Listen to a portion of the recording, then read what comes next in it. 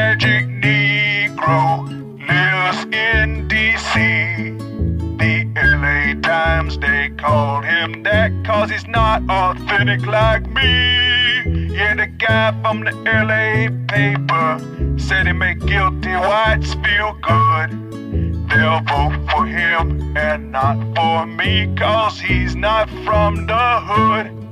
See real black men like Snoop Dogg or me or Farrakhan have talked the talk and walked the walk, not coming late and won. Oh, Barack, the magic Negro, lives in D.C. The LA Times, they called him that, cause he's black but not authentically. Barack, the magic Negro, Times, they called him that, cause he's black but not authentically.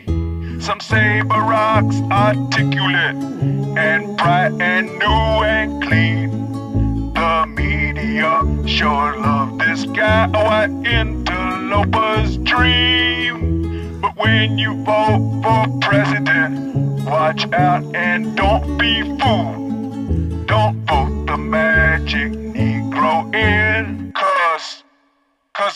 have nothing after all these years of sacrifice. And uh, I won't get justice.